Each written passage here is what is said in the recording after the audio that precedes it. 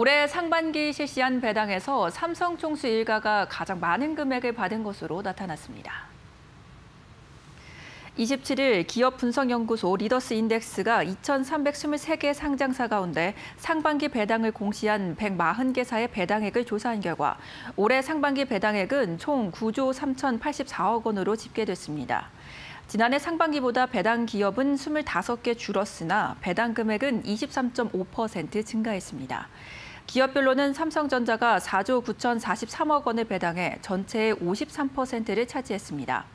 이어 KTNG가 5,956억 원을 기록했으며 포스코와 현대모비스, KB금융이 뒤를 이었습니다. 가장 많은 금액을 배당받은 개인은 홍라이 전 리움 미술관장으로 992억 원에 이르렀습니다.